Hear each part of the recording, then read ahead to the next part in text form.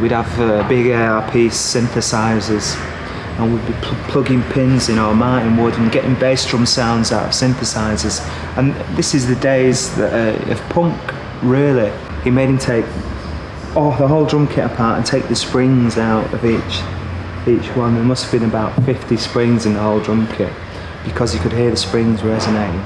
So he could it could be a bit of a pain in the ass sometimes. Martin's uh, attitude was that uh, we shouldn't be getting involved in nightclubs. You know, you should stick to what you know.